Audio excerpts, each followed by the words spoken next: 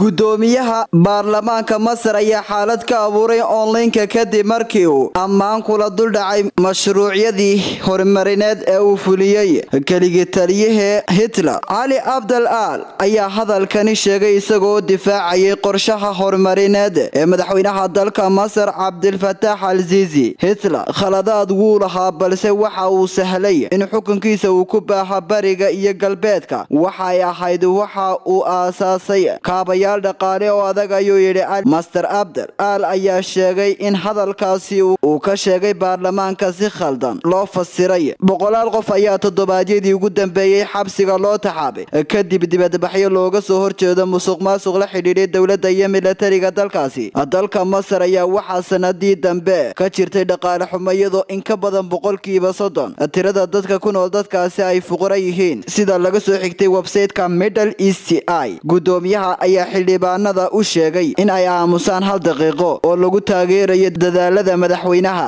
Khudbadiisa ayaa waxa uu ku ammaanay kaabayaasha dhaqaalaha ee jarmalka dhistay taasi oo hormuud ah dunida oo dhan. Dib u dhis waddamada mararka qaar waxay u baahan tahay in la adeegsado tallaabooyin adag sababtoo ah xiliyadaasi ayay dhismaan kaabayaasha dhaqaalaha. Master hitler waxa uu jarmalka hogaaminayay intii u dhaxaysay sannadkii kun sagaal boqol iyo saddex iyo soddonkii ilaa kun sagaal boqol iyo shan iyo afartankii. Kaasi oo siyaabo kala duwan u laayay koob iyo toban milyan oo qof waxaana lix milyan oo ka mid ah loo laayay inay ahaayeen yuhuud cabdirashiid maxamuud maxamed cabdirashiid wudhud warka star t v